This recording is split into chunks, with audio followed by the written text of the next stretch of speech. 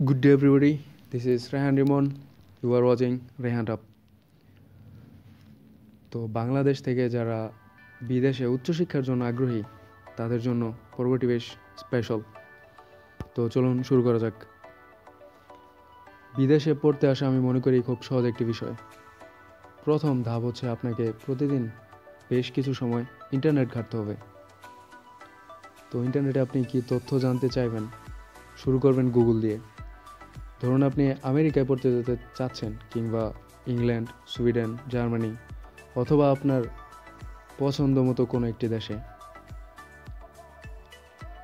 এখন আপনার কাজ হচ্ছে গুগলে সার্চ দিয়ে ওইসব দেশের ইউনিভার্সিটিগুলোর ওয়েবসাইট থেকে যাবতীয় তথ্য সংগ্রহ করা। সকল বিশ্ববিদ্যালয়গুলোর ওয়েবসাইটে তাদের ভর্তির তথ্য দেওয়া থাকে এবং ইন্টারনেটের এই যুগে আপনি আবেদন থেকে শুরু করে যাবতীয় কার্যক্রম সম্পাদন করতে পারবেন অনলাইনে ঘরে বসেই। এখন আপনি যেই তথ্যগুলো নেবেন সেটা হচ্ছে, ওইসব ইউনিভার্সিটিগুলোতে ভর্তি হতে কিংবা স্কলারশিপ পেতে কী কী যোগ্যতা লাগে? দেখবেন বেশিরভাগ ইউনিভার্সিটিগুলোতে আলাদা একটা সেকশন থাকে, যেখানে লেখা থাকবে ইংলিশ রিকোয়ারমেন্ট। অর্থাৎ আপনাকে আইএলটিএসে কত স্কোর পেতে হবে? এছাড়া আপনার প্রিভিয়াস সিজিপিএ কত থাকা উচিত? ইত্যাদি। তো অনেক ক্ষেত্রে সিজিপিএ চায়ও না। অনেক বিশ্ববিদ্যালয়ে হয়তো দেখবেন আপনার বেশি ইংলিশ অর্থাৎ আইএলটিএস স্কোর চাচ্ছে অনেক জায়গায় হয়তো হয়তো আপনার যেই যোগ্যতা আছে তাতেই হয়ে যাবে। আবার এমন ইউনিভার্সিটি পাওয়া যেতে পারে যেখানে হয়তো কোনো আইএলটিএসই চাচ্ছে না। এই তথ্যগুলো জানার জন্য আপনাকে যেটা করতে হবে প্রতিদিন এভাবে দশ পনেরোটা ইউনিভার্সিটির ওয়েবসাইট ঘাঁটতে হবে। এভাবে ওয়েবসাইট ঘাঁটতে ঘাঁটতে একটা সময় আপনি আবিষ্কার করবেন, আপনার যোগ্যতা অনুযায়ী কোন কোন বিশ্ববিদ্যালয়ে আপনি আবেদন করতে পারবেন। কিংবা ধরুন আপনার ভালো আইএলটিএস স্কোর নেই, কিংবা আপনার প্রিভিয়াস রেজাল্টও ভালো না। তো সেই ক্ষেত্রে আপনি নিজেকে প্রস্তুত করবেন। যখন আপনি দেখবেন ওদের ওয়েবসাইটে দেওয়া সকল তথ্যের সাথে আপনার যোগ্যতা মিলে যাচ্ছে, তখন আপনি আবেদন করবেন। সেখানে দেখবেন দেয়া আছে, আবেদন করার শেষ সময় কবে কিংবা ঠিক কবে থেকে আবেদন করা স্টার্ট হবে। তো এভাবে অনলাইনে আবেদন করে ফেলবেন, সেই সঙ্গে আপনার সার্টিফিকেটগুলো আপলোড করে দিবেন।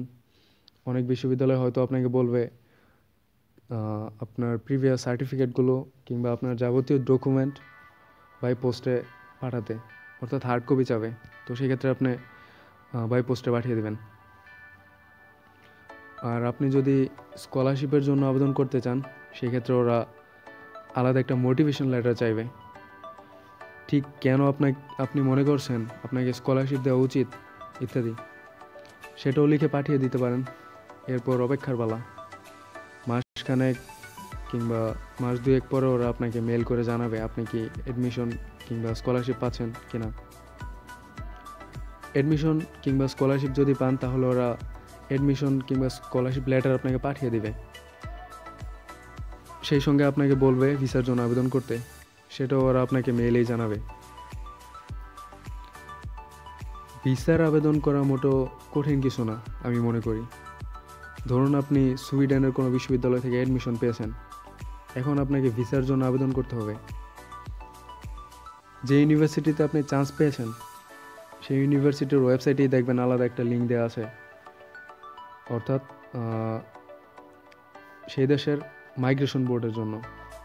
তো সেখান থেকে আপনি জেনে নিতে পারবেন কীভাবে ভিসার জন্য আবেদন করবেন। এছাড়াও ভিসার যাবতীয় রিকোয়ারমেন্টও আপনি সেখানে পাবেন। আর এক্সট্রা কোনো তথ্যের জন্য আপনি অ্যাম্বাসিকে মেল করতে পারেন কিংবা অ্যাম্বাসির ওয়েবসাইট ঘাটতে পারেন। তাছাড়াও আপনি বাংলাদেশের সুইডেশ অ্যাম্বাসিতেও যোগাযোগ করতে পারেন। ওরা বসে আছে আপনাকে তথ্য দেওয়ার জন্য। প্রতি সপ্তাহে আলাদা দুই বা দুই দিন কিংবা একদিন সময় থাকে যেখানে আপনি গিয়ে সকল তথ্য জেনে আসতে পারবেন। শুধুমাত্র সুইডেনে নয়, আমি মনে করি অন্য যে কোনো দেশের অ্যাম্বাসির ক্ষেত্রে সেটা প্রযোজ্য। অ্যাম্বাসি মানেই ভয়ের কিছু না। এরা বসে আছে আপনাকে তথ্য দেওয়ার জন্য কিংবা ভিসা দেওয়ার জন্য। আপনাকে স্রেফ একটা নিয়ম মেনে এগোতে হবে। বেশিরভাগ ক্ষেত্রেই আপনি যদি ছাত্র হিসেবে বিদেশে পড়তে যেতে চান, আপনার অ্যাডমিশন লেটার যদি স্কলারশিপ না পান সেক্ষেত্রে আপনার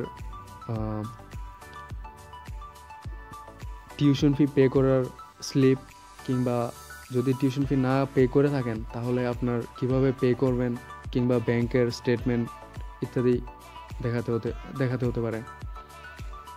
আপনার সব কিছু ঠিকঠাক থাকলে অ্যাম্বাসিতে যদি আপনি নিজেকে সত্যিকার স্টুডেন্ট হিসেবে প্রমাণ করতে পারেন, তাহলে ভিসা আপনাকে খুঁজবে। তো এবার আসা যাক, এই এতটুকু কাজ সম্পাদন করতে আপনি কি কি সমস্যায় পড়তে পারেন। ফার্স্ট অফ অল প্রথমবার হলে হয়তো বা কীভাবে অ্যাপ্লাই করতে হয়, আপনার বুঝতে সমস্যা হতে পারে। ইউনিভার্সিটির ওয়েবসাইটগুলো যখন ভিজিট করবেন, তখন দেখতে পাবেন মার্ক করা একটা বড় অপশন আছে। অ্যাপ্লাই নাও এখানে ঢুকলেই দেখতে পাবেন আপনার যাবতীয় সকল ডকুমেন্ট আপলোড করার জায়গা। এখানে আবার একটা ছোট সমস্যা আছে, সেটা হচ্ছে আমাদের দেশের এসএসসি এইচএসসি এরা এক এক দেশ এক এক নামে বোঝে।